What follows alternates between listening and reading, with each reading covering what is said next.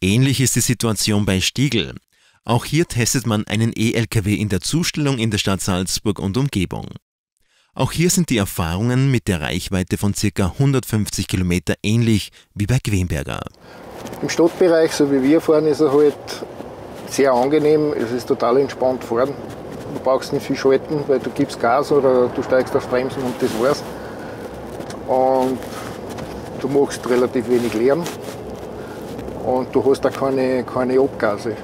Das heißt, wenn, du mal, wenn wir mal einen Oblader haben, wo ich jetzt nicht so lange brauche, wo ich sage, ich stehe 10 Minuten, kann ich ihn rennen lassen, brauche nicht abstellen und das stört keinen.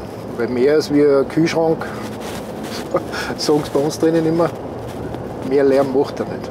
Auch hier ist Spritzigkeit ein entscheidender Vorteil. Stellt sich aber die Frage, E-Lkw oder Bierkutsche in der Auslieferung?